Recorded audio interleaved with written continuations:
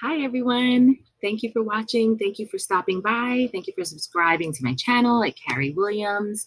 Thank you so much. I'm just super excited on this Tuesday evening, and I'm going to tell you why. I'm discovering Jamboard, and I'm very emotional right now because I'm teaching um, remote learning. I'm uh, I have a fourth grade uh, group of students uh, who are going into the middle school and you know they're they're really trudging through this hard time in this pandemic and they're trying to do the necessary work and jamboard is making it possible that they can interact so that they can interact with each other they can see each other in live time um, they get to expose their own name on a platform like Jamboard. So, okay, so Jamboard is like a canvas basically. And what you see on this screen as I'm sharing my screen, this is what you get. This canvas here. So it's not intimidating like some of the other programs um, that I've learned about. And Jamboard was a part of my recent professional development with Kiker Learning. Um, and it was really, really instrumental. I started using it right away. So that's why I wanted to share. By all means, I am not a techie, I'm a novice learner to this. Um, I'm a, a teacher of 18 years and I have a group of special learners that are trying to do their best. So here we go. This is the blank canvas right here. I'm going to try to use my pointer here. So this is a blank canvas in the term that you can use this canvas for whatever you want. It originally starts out white and I'm just going to show you some of the tools on my page. So I started with the title and I thought, how can I use this Jamboard effectively when I'm a novice? So I just started very simple. I wanted to bring social skills into the classroom, into this virtual classroom. So I had the students um, sharing about their weekend. So the title uh, was Jamming and Weekend Sharing. So um, that's basically the concept behind this Jamboard. Um, the tools over here are very self-explanatory pen. Um, there's different styles of the pen. I think there's like a fine line, a marker. It shows the different um, size and the different colors that you can use. And obviously, that's what I use to just kind of extend the visual line from the question to the answer for my students, you can change the color of the pen. It's pretty great. The eraser actually works um, efficiently. So basically, you could just kind of erase something on this Jamboard. And for the sake of, I had a student that was on this Jamboard just now. So I don't want to erase anything yet. Um, but you could just erase the line like a regular eraser. Um, this is kind of like the standard select button. Um, this is where I usually go to when I'm all finished using the tools over here. The sticky note is the most commonly used tool on my Jamboard right now because that's just what I feel comfortable with using and that's what I have my students use. Um, this Jamboard that we're looking at, um, the students have full editing access on it. Um, and there's some pros and cons to that. Um, just to finish off these two tools here, we have the adding image button. Um, this feature is amazing because you can typically, you can really add any image. Um, you can add a picture. You can't add video. I just got off YouTube actually um, trying to see, am I the only one who wants to insert a video on here? So no, you can't add video right now, but there are some ways around it.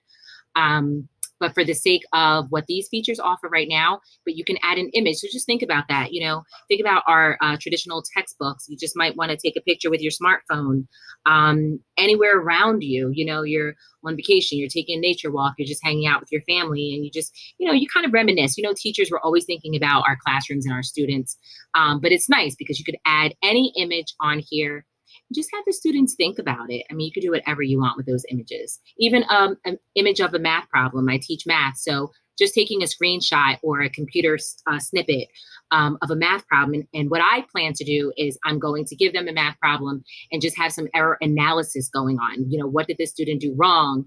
Or, you know, where, where how would you approach the problem? Um, and lastly, it would be the laser tool I like this tool. I don't know why. Um, it's not permanent. It's just a temporary visual to just remind the students, hey, here I am. I'm over here. Look over here.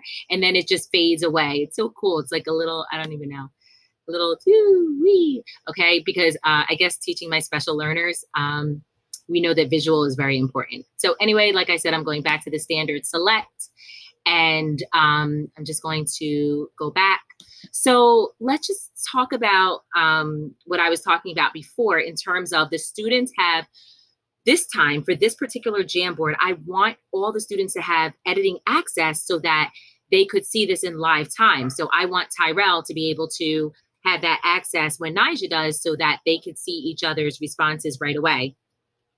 There are cons to this. I've learned my lesson and I'm telling you now that if students have full editing access, um, you could see just like a random, this is what I saw. I'm going to show you actually. I saw a random woo all over. And I just kind of like, I don't know. I was like, who is doing that? Who is doing that? And because they have the full um, access, you know, I had to fix it. I had to edit it. And the good thing is, as I'm moving with this target, um, th- with the eraser, you could see when the student is moving and doing those things you could see their icon. So i i tell them i said you know i can see you. I can see your avatar your icon. Um, and then they kind of get freaked out and they stop doing it. Um, but again it is real time. It's 6.34 at night. Can a student come on this Jamboard and start you know editing my words? Absolutely. So you have to be mindful of that. And what i just did was research ways um, to go around that. And the only thing that I came up with is one, thinking um, like an educator, you can use this for citizenship. You know, let's think about what is right or wrong when no one's looking. Um, so that's um, obviously an option. And then secondly, I decided to make a copy of this Jamboard and I'm going to keep that copy because the weekend sharing is over. It's pretty much a done deal. So if I made a copy, I can really just remove this ultimately. Um, and if you go to the three dots up here, I think it actually, yeah, it gives you a trash can. So you could just um, basically remove it. So let's just go back and I want to just show you where you even start doing your Jamboard. Um, so I call this the waffle. I go to my waffle. And again, I am just a novice and I'm excited to use this Jamboard because it's practical and it's easy to use. So you would click Jamboard. So did you see that? That was a um, yellow and orange note like a little symbol. Um, so when you click that, it's going to bring you to your Jamboard dashboard, your headquarters, your home, and it's going to show you all the other jams that you made. That's what they call it, jams. I, I'm totally a novice. All right, anywho, so this was the copy. Remember, I told you I made a copy. So this is the copy that I made. I plan on deleting this um, because they can go back and edit. So that is just a red flag right there. Um, just to show you an example, one of my first jams, I um, I made a math jam, and this is what it looks like. My computer's pretty slow. I have a lot of tabs open. Um, so since I teach summer school math, our time is very limited and we're on a tight schedule. And I want to give them just a small amount of problems um, but just add more visuals, more manipulatives. Um, so this was really um, a fun way to get them to brainstorm um, about math. Okay, it says processing request. Here we go. So, like I was saying before, when you're adding the image, also you can add an image to a math problem. Now, I know this seems like a lot in all of this, all of these post-it notes, but I can tell you why it looks like that. Hi. Okay. So there was one other thing that I forgot to share with you, um, and that was the use of the other tools on the top of the bar here. So in terms of magnifying and you know zooming into your screen, I like to use the peace sign on the mouse pad, and that kind of just zooms in enough for me but everyone has different you know um different styles of computers so but that is a I wish it was more, I don't know, I wish it was more one touch thing. Um, but yeah, you can just, you know, choose your specifications for zooming in. And uh, what I do like is the background. You don't have many options. Maybe I'm missing something. Like I said, I'm, I'm still learning. Um, but this blue is very pretty. I've used that before, but with a simple click here, you can um, change the background color.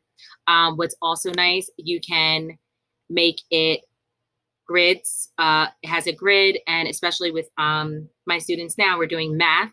So I might use that with area. Um, if I clear the frame, I don't want to press that just because I have students working on this um, document.